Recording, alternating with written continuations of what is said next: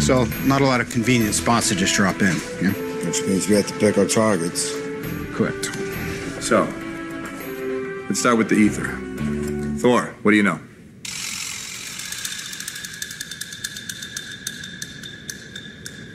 Is he asleep? No, no. I'm pretty sure he's dead.